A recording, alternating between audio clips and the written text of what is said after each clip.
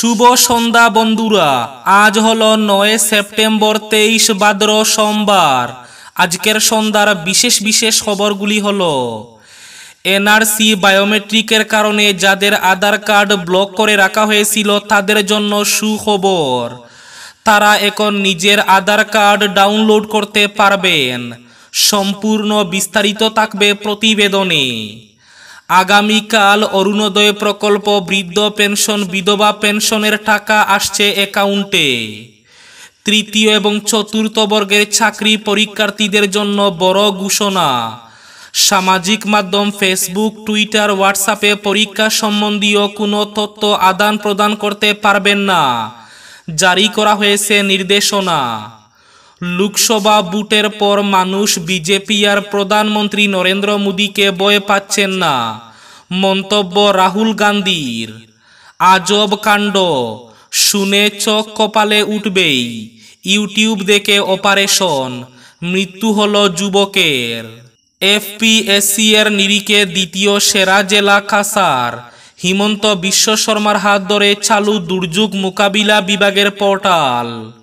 শিলচর, লক্ষ্মীপুর বিন্নাকান্দিতে Punjab national bank শাখা কার্যালয় এবং এটিএম কাউন্টারে হানা নিশি কুটুম্বের। নিজের তৈরি আচার অনলাইনে বিক্রি করে করিমগঞ্জে রেকর্ড গড়লেন এসএইচজির এক মহিলা। আজ শিলচর শ্রীকুনা বাংলাঘাটে পচাগোলা ঝুলন্ত যুবকের দেহ উদ্ধারে চাঞ্চল্য। এবং শেষ খবরটি পাতারকান্দি দুহালিয়ায় একই রাতে আটটি দোকানে চুরের তাণ্ডব। তাহলে বিস্তারিত খবরে যাওয়ার আগে অবশ্যই ভিডিওটিতে একটি লাইক করে চ্যানেলটি সাবস্ক্রাইব করে পাশের বেল আইকনটি বাজিয়ে রাখবেন এবং ফেসবুক পেজটি ফলো করে ভিডিওটি অবশ্যই শেয়ার করবেন, যাতে সঠিক তথ্যগুলো সবার কাছে পৌঁছাতে পারে। এবার শুনুন আজকের খবরগুলির বিস্তারিত। প্রথম খবর, এনআরসি বায়োমেট্রিকের কারণে যাদের আধার কার্ড হয়নি তাদের জন্য সুখবর। তারা এখন অনলাইনে নিজের আধার কার্ড ডাউনলোড করতে পারবেন। লাগবে এনআরসি ফিঙ্গারপ্রিন্ট রিসিপ্ট কপি, সেই সঙ্গে এনআরসিতে মোবাইল নম্বর দিয়েছিলেন সেটা। যাদের সঠিক মোবাইল নম্বর দেওয়া হয়েছিল তাদের মোবাইল নম্বরে ইতিমধ্যে মেসেজও এসে গেছে। পর্যায়ক্রমে যাদের সঠিক মোবাইল নম্বর দেওয়া হয়েছিল তাদের মোবাইলে আসবে মেসেজ। তবে যাদের মোবাইল নম্বর ঠিক নয়, তারা নিজ নিজ সার্কুল অফিসে যোগাযোগ করতে পারেন। সেখানে গেলে আপনার আধার কার্ড পেয়ে যাবেন। অন্যথায় আপনার মোবাইল নম্বর ঠিক থাকলে অনলাইনে আপনি ইউআইডিএআই ডট জিওভি ডট ইনে গিয়ে নিজের ডাউনলোড করতে পারবেন আধার কার্ড। লাখ লাখ হিতাধিকারীদের জন্য জরুরি খবর। আগামীকাল অর্থাৎ মাসের দশ তারিখ অ্যাকাউন্টে আসছে টাকা। আগামীকাল অরুণোদয় প্রকল্প সহ বিভিন্ন প্রকল্পের টাকা ঢুকবে অ্যাকাউন্টে। লাখ লাখ লোকের হিতাধিকারীর অ্যাকাউন্টে আগামীকাল আসছে সরকারি টাকা। অরুণোদয় প্রকল্পের লাখ লাখ হিতাধিকারীর অ্যাকাউন্টে জমা করা হবে বারোশো পঞ্চাশ টাকা করে। বৃদ্ধ পেনশন প্রকল্পের টাকাও আগামীকাল অ্যাকাউন্টে আসছে। বিধবা পেনশনের টাকাও আগামীকাল জমা হবে অ্যাকাউন্টে। তৃতীয় এবং চতুর্থ বর্গের চাকরি পরীক্ষার্থীদের জন্য বড় ঘোষণা, জারি করা হয়েছে নির্দেশনা। পুলিশ প্রশাসনের তরফ থেকে জারি করা হয়েছে বেশ কয়েকটি নির্দেশনা। পরীক্ষা সম্পূর্ণ স্বচ্ছভাবে করার জন্য জারি করা হয়েছে একশো তেষট্টি দ্বারা। পরীক্ষা হলে কোনো ধরনের অনৈতিক কার্য অবলম্বন করতে পারবেন না। পরীক্ষার্থীরা কেবলমাত্র প্রবেশপত্র আনতে পারবেন। সামাজিক মাধ্যম ফেসবুক, টুইটার, হোয়াটসঅ্যাপে পরীক্ষা সম্বন্ধীয় কোনো তথ্য আদান প্রদান করতে পারবেন না। আজব কাণ্ড, শুনে চক কপালে উঠবেই। ইউটিউব দেখে ডাক্তারি, অপারেশন করতে গিয়ে মারা গেল এক যুবক। মর্মান্তিক ঘটনাটি ঘটেছে বিহারে। মৃতের পরিবারের দাবি, বেশ কয়েকবার বমি করার পর তারা ছেলেটিকে সারানের গণপতি হাসপাতালে নিয়ে আসে, পিত্ততলি থেকে পাথর বের করার জন্য। মৃত ছেলেটির নাম কৃষ্ণকুমার, বয়স পনেরো বছর। তাদের অভিযোগ, ডাক্তার তাদের সম্মতি ছাড়াই অপারেশন করেছে। যোগ্যতা নিয়ে সন্দেহ থাকা সত্ত্বেও, কেন বাড়ির লোক কৃষ্ণ কুমারকে বুয়ো ডাক্তার অজিত কুমারের কাছে নিয়ে গেলেন জানতে চাইলে? পরিবার জানায়, বমি বন্ধ হোক, এটাই তারা চেয়েছিলেন। কিন্তু বাড়ির লোকের অনুমতি ছাড়াই অপারেশন করা হয়।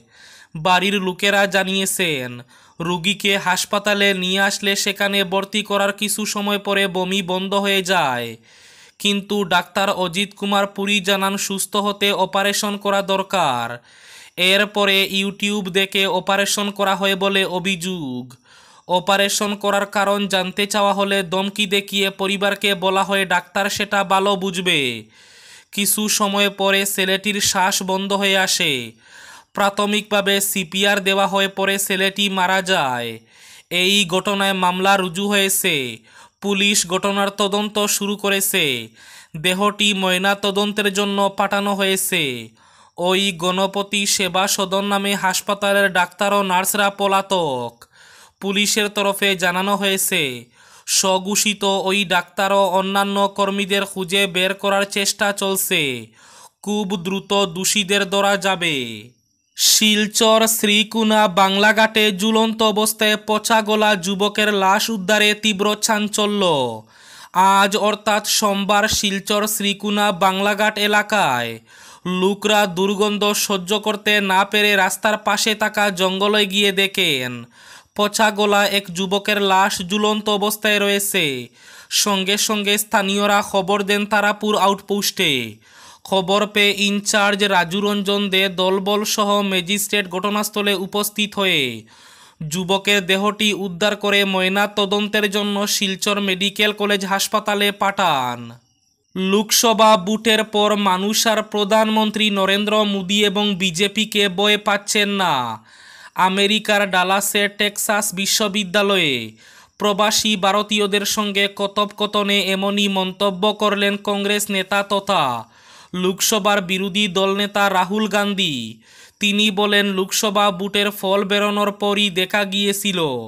ভারতের জনগণ, বিজেপি এবং প্রধানমন্ত্রী নরেন্দ্র মোদীকে বয় পাচ্ছেন না। তিনি আরও বলেন, এবারের লোকসভা বুটে যে সামগ্রিক চিত্রটি দেখা গিয়েছিল সেটা শুধুমাত্র কংগ্রেসের সাফল্য নয়। এই বুটে ভারতের জনগণের মনোবাঞ্ছাও প্রকাশিত হয়েছে। রাহুলের কথায় সংবিধান এবং গণতন্ত্র ধ্বংস করার যে চক্রান্ত কেন্দ্র শুরু করেছে, তার বিরুদ্ধে মানুষ রুখে দাঁড়িয়েছে। পাতারকান্দির দুহালিয়া শিববাড়ি এলাকায় একই রাতে পরপর আটটি দোকানে ঘটে গেল দুঃসাহসিক চুরির ঘটনা। রবিবার রাত আনুমানিক দুটো নাগাদ একদল চোর বাড়ি বৃষ্টির সুযোগে স্থানীয় একটি দোকানের পেছনের দরজা ভেঙে ভেতরে প্রবেশ করে পরে তারা দোকানগুলোর মধ্যে থাকা বেড়া বেদ করে অন্য দোকানে পৌঁছে যায়। এভাবে সড়কের উভয় পাশের আটটি দোকানে চুরিকাণ্ড সংগঠিত হয়। দোকানগুলোর মধ্যে রয়েছে মিটন দেবের মুদি দোকান, আশিস দরের জুয়েলারি, রূপক চক্রবর্তীর ফার্মাসি, ইন্দ্রজিৎ দাসের সবজির দোকান, হিমাংশু নাথের ফার্মাসি মিটু দাসের মোবাইল দোকান সুদাংশুনাথের মুদি দোকান ও সুজিত দরের চায়ের দোকান। ধারণা করা হচ্ছে বৃষ্টির কারণে। বাজারের পাহারাদার অন্যত্র কোথাও আশ্রয় নিয়েছিলেন। পুলিশের এডি ক্যাম্পের পাশে এ ঘটনায় কিছুটা প্রতিক্রিয়া দেখা দিয়েছে। শিলচর, লক্ষ্মীপুর থানা এলাকার বিন্নাকান্দি সুটোমামদা পাঞ্জাব ন্যাশনাল ব্যাংক শাখা কার্যালয় এবং একই সঙ্গে থাকা এটিএম কাউন্টারে নিশি কুটুম্বের হানা। রবিবার রাতে পাঞ্জাব ব্যাংকের সুটোমামদা শাখা এবং এটিএম মেশিন থেকে টাকা হাতিয়ে নেওয়ার চেষ্টা চালায় দল। এটিএম ও ব্যাংকের কার্যালয়ের দরজা ভেঙে ভেতরে প্রবেশ করে চুরের দল। সকালে স্থানীয় লোকজন দরজা বাঙ্গা দেখে খবর দেন লক্ষ্মীপুর থানা এবং ব্যাংক ম্যানেজারকে। লক্ষ্মীপুর পুলিশ ও ব্যাংকের কর্মকর্তারা উপস্থিত হয়ে তদন্ত শুরু করেছেন।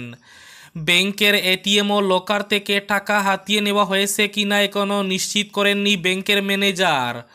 তদন্ত চালিয়ে যাচ্ছেন। তবে যেভাবে এক রাতে এটিএম কাউন্টার সহ ব্যাংকের কার্যালয়ে চুরের প্রবেশ ঘটেছে তা রীতিমতো আতঙ্কের কারণ হয়ে দাঁড়িয়েছে। এফপিএসসির নিরিখে দ্বিতীয় সেরা জেলা কাসার হিমন্ত বিশ্ব শর্মার হাত ধরে চালু দুর্যোগ মোকাবিলা বিভাগের পোর্টাল। রবিবার গৌহাটিতে মুখ্যমন্ত্রীর হাত ধরে যাত্রা শুরু করল। দুর্যোগ মোকাবিলা বিভাগের বিশেষ পোর্টাল। দুর্যোগ মোকাবিলার ক্ষেত্রে আগাম সতর্কতা জারি করবে এই বিশেষ পোর্টাল। অনুষ্ঠানে সরকারের তরফে জানানো হয়, রাজ্যে ফ্লাড প্রিপেয়ার্ডনেস স্কোর কার্ডের নিরিখে দ্বিতীয় সেরা জেলা হচ্ছে কাসার গোলাঘাট এবং মাজুলি। প্রথম স্থানে রয়েছে মরিগাঁও এবং নলবাড়ি। এবার শেষ খবরটি, নিজের তৈরি আচার অনলাইনে বিক্রি করে করিমগঞ্জে রেকর্ড গড়লেন এসএইচজির মহিলা। প্রধানমন্ত্রীর আত্মনির্ভর ভারত গড়ার স্বপ্নকে বাস্তবে পরিণত করে দেখালেন। বদরপুর ব্লকের অধীন সাকসেস স্বয়ং সহায়ক দলের সদস্যা নিবারানী সিং। নিজের তৈরি আচার অনলাইনে মিশো নামক অ্যাপে আপলোড করে। প্রথম দিনে পঞ্চাশেরও অধিক বোতল আচার বিক্রি করে করিমগঞ্জ জেলার মধ্যে প্রথম রেকর্ড গড়লেন তিনি।